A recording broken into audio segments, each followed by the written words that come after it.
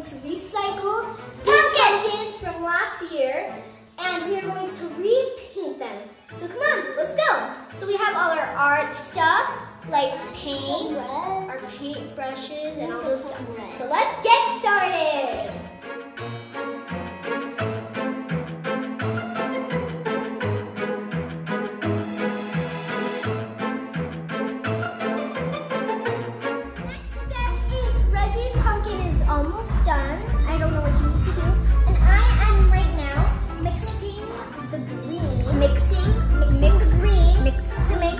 My pumpkin witch's skin.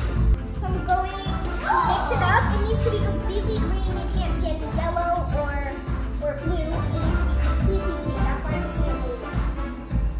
Looking good.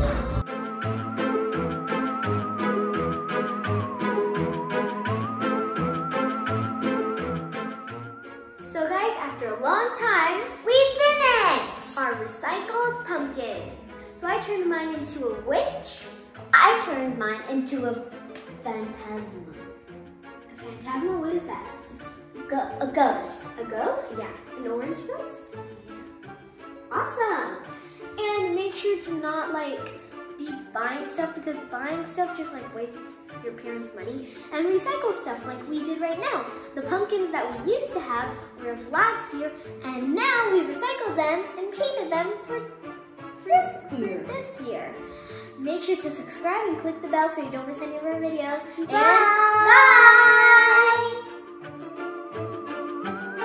bye.